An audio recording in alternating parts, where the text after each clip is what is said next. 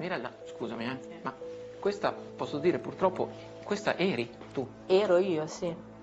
una bella donna felice. Sì. E questo? Questi sono i risultati dei trattamenti che mi facevo, come era diventato il mio viso. Qui ti sta eh, infiammazione, un ematoma. è un'infiammazione tremenda che ti porta talmente a gonfiare che sembra che i tessuti si spacchino.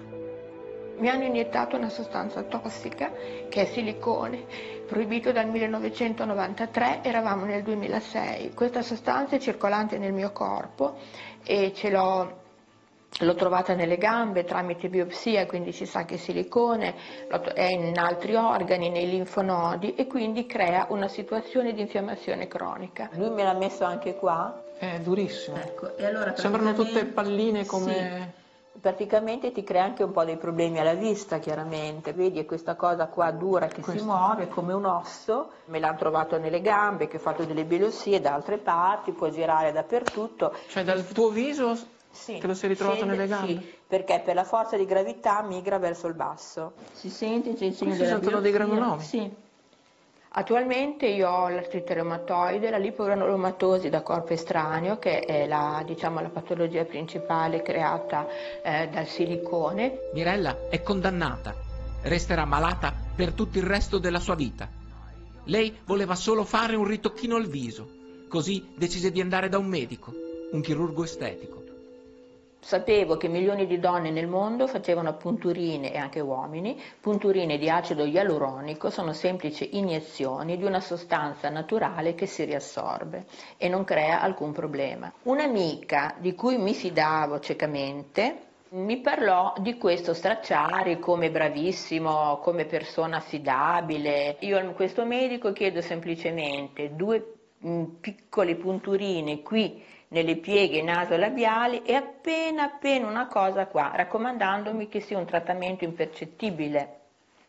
E lui cosa ti disse? E lui mi dice invece che per un risultato molto naturale, come io chiedevo, eh, bisognava fare un puntino qui, un puntino qui, un puntino qui e un puntino qua. Mi dice che usano questa sostanza a base di acido ialuronico che eh, uso da 20 anni senza nessun problema e quindi io mi affido ciecamente. Immediatamente mi inietta questa sostanza. E poi cosa succede? Succede che dopo due mesi più o meno io comincio ad avere dei piccoli granellini, delle cose dure, delle- come dei piccoli granellini di riso nel viso. A quel punto io to- torno, espongo la situazione, lui mi dice che non è assolutamente nulla, che userà un antidoto per scioglierla.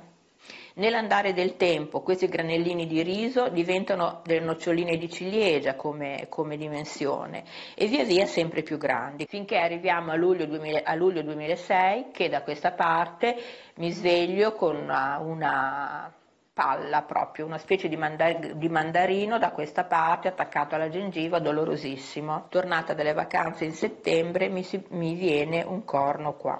Quindi torno Crudo. da lui, sì, torno da lui, ah, alle mie lamentele lui mi aggredisce, mi dice che sono una cretina. A quel punto io disperata mi metto in contatto con questo chirurgo plastico di Napoli che mi avevano consigliato, la quale vuole le foto, dalle foto lei capisce che è silicone, dice guarda sono quasi sicura al 99% che sia silicone. Questo è come diventa il silicone all'interno dell'organismo. Cioè questo te l'hanno tolto da te? Questo è stato quel poco che mi ha potuto togliere dall'interno delle labbra dove ho 24 punti, da qua a qua, perché se non mi avesse tolto questo non riuscirei neanche adesso a parlare come, come, come faccio. Cioè, quindi questa cosa dura era Sì. il silicone Sì. indurito che avevi dentro le labbra. Sì, sì.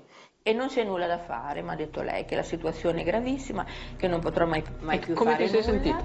Beh, io mi sono, sen- mi sono sentita che avrei voluto morire perché eh, ho saputo in quel momento che non avrei mai più recuperato, mm, diciamo, non solo il mio viso, ma mi disse anche che questa sostanza mi poteva causare dei problemi di salute molto gravi. Pensavo che sarei morta, ma Anche me lo auguravo perché questa prospettiva di una vita così di continue cure per sempre non era certo quello che io volevo e, e- e poi non riuscivo a capire la crudeltà di questa persona che semplicemente per guadagnare di più mi aveva rovinato la vita. Mirella fa causa al dottor Stefano Stracciari.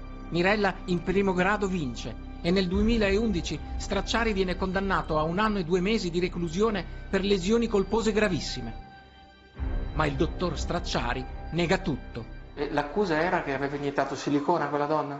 Sì, ma siccome è stato trovato, poi comunque le dicono, è tutto agli atti, le sentenze sono pubbliche. Quindi... Il silicone è stato trovato? No. Assolutamente no. Quindi lei non ha iniettato il silicone a quella signora? Assolutamente no. E il silicone non l'ha mai iniettato? Assolutamente. Lei che cosa inietta? Acido ialuronico. Che è quello che si riassorbe e scompare nel giro di pochi mesi. Una decina, ormai si sono venute, però è acido ialuronico. Ma lei è stato condannato o, o no? Primo grado, sì, secondo grado, aveva l'appello, siamo stati prosciolti. Più di così? Eh, assolti per prescrizione. Perché lo sa che il silicone è pericoloso, lo sa. Mi deve fare la morale. No, dico, quando uno viene da lei cosa gli dice sul silicone? Gli dice, se qualcuno chiede, Mi chiede il silicone, lo prendo, lo prendo per la colonna, lo mando via. Mi lasci in pace, davvero. davvero? Assolutamente sì. Cioè, uno viene da lei e dice, eh, voglio fare un'iniezione di silicone, e lei dice, è vietato, non lo faccio mai, poi mai. Sì, ma ci mancherebbe, ma scherza. Ma è, è perseguibile con tanto di lesione personale, cioè materiale illegale. Come se io le sparassi uno, o le tirassi una coltellata. Cioè. Una coltellata, addirittura. No, allora, mi lasci in pace. Il dottor Stracciari ha fatto ricorso in appello e un anno fa è stato prosciolto per intervenuta prescrizione. Oramai per me è diventata una battaglia perché io oramai so che ho tutta una vita in salita e per fortuna che non lo so come eh, sono riuscita ad arrivare fino adesso perché io volevo suicidarmi, tra l'altro ero già andata anche in Svizzera per sapere come si fa perché non riuscivo a affrontare più questa situazione. L'unica cosa che mi ha spinto ad andare avanti nonostante mille difficoltà è stato che se io mi fossi suicidata non- avrei rovinato, avrei lasciato campo libero a questi delinquenti. Era come dire, bene, avete vinto voi? No, non devono vincere loro. E oggi ti dirò, io so che non sono più quella persona e non sono più quella bella donna che ero prima ed era una cosa che chiaramente anche nel lavoro mi favoriva. So qual è la mia situazione, però nonostante tutto questo eh, diciamo mare di difficoltà io voglio sentirmi vincente e mi sento una bella persona che deve avere assolutamente giustizia Allora prova a darmi un bacio. capito? Proprio così lo voglio fare questa cosa ed è quello che mi riesce a, a far superare tante difficoltà.